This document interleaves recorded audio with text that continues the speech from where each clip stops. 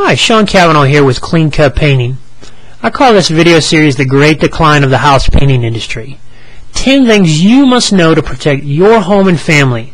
Ignore this and you could lose hundreds and perhaps thousands of dollars.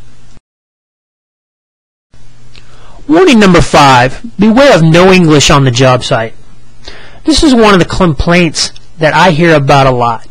There's a huge communication problem between clients and many home painters. I remember being in a paint store and some lady was trying to talk on the phone with the painter at her home. She actually had to have one of the employees at the paint store get on the phone and translate. And what was she even doing in the paint store? A client should never have to pick up the paint. At Clean Cut Painting, we speak English.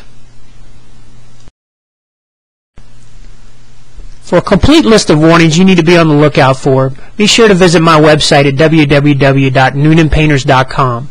And feel free to give me a call at any time at 678-575-9799. I'll be glad to answer any questions you have and schedule your free estimate for your painting project.